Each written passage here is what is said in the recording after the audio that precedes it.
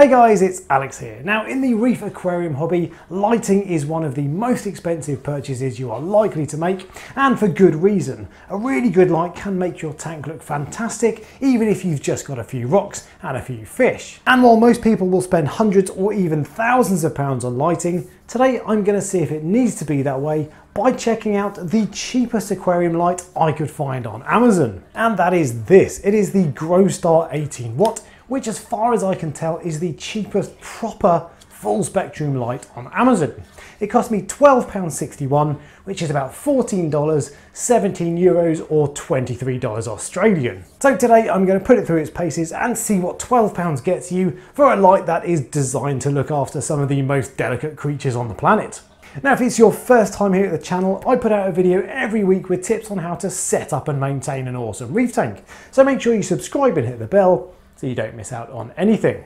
Right, let's get stuck in.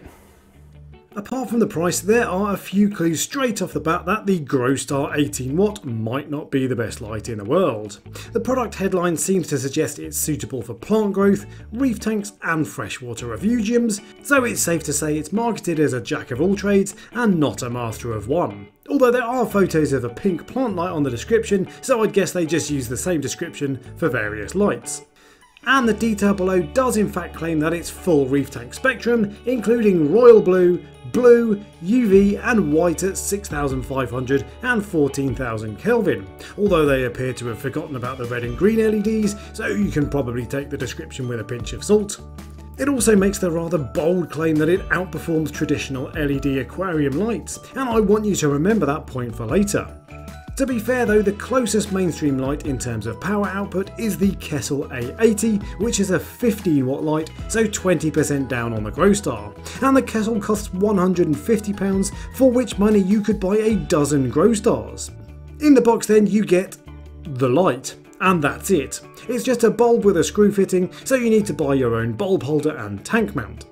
Now I couldn't find a decent bracket for the light for this particular setup, so I just held it up while I filmed, something that probably won't be practical full time.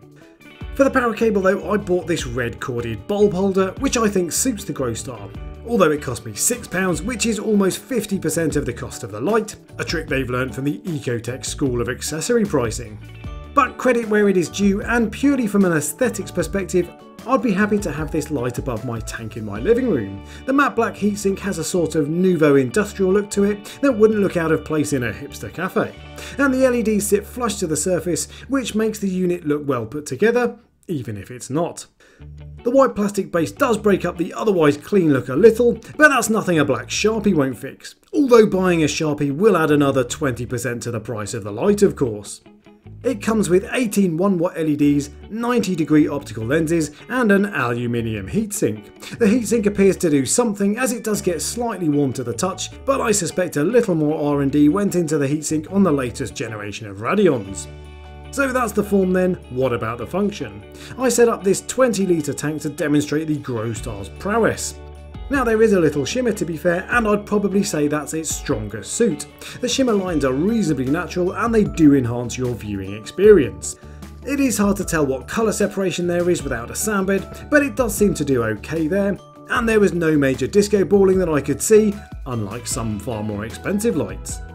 But that is about it for the positives. While the light does look blue to the eye, the colour it gives off is very much on the white slash yellow side, and it makes this gorgeous Zoa colony look rather drab, with only 50 shades of beige on display. Whereas the reality is that it has shades of pink, yellow, green and purple, and is probably one of my nicer coral colonies.